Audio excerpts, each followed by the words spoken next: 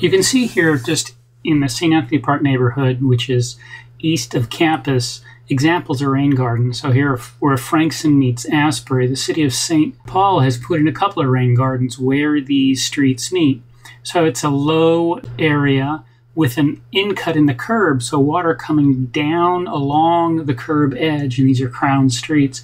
If it's not running too fast, will all go into the rain garden, this depression. And if it's running really fast, it'll overflow some of it and go into the storm sewer. So small storms all get diverted into these low, wet areas, feeding these plants, and slowly percolate in. These are examples of the things you'll be trying to design as a first line of defense on the St. Paul campus.